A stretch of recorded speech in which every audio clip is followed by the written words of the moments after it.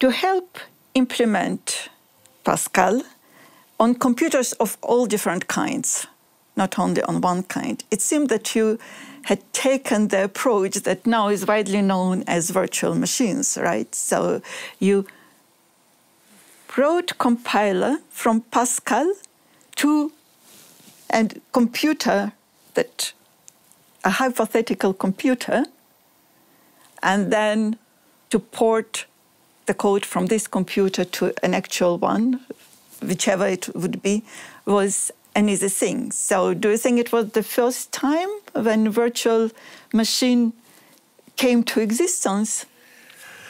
It, the, the it idea was, of virtual it machine. was a technique known, but not widely known.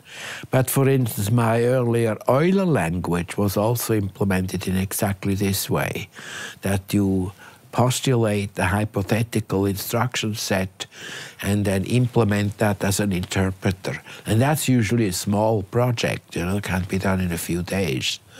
And this is indeed how we helped uh, other universities adopt Pascal. They, they, they asked us, uh, and uh, we said, well, we can send you our compiler, our P compiler for portable and you simply have to write with your for your machine an interpreter for that P code. And that helped enormously spread the language.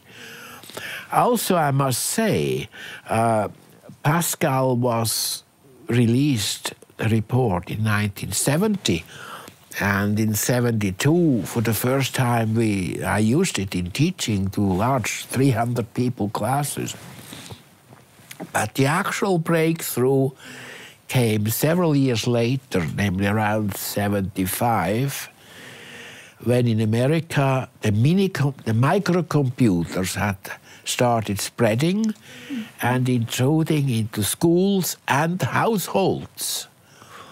And, and there, they, of course, had to have a compiler that was reasonably small because they had small memories.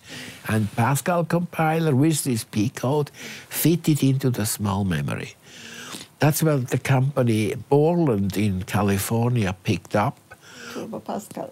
Turbo Pascal, exactly. And the big thing was, of course, they sold a diskette with the whole system for $50. no, really? Yeah, yeah whereas compilers on mainframes cost $10,000 and more.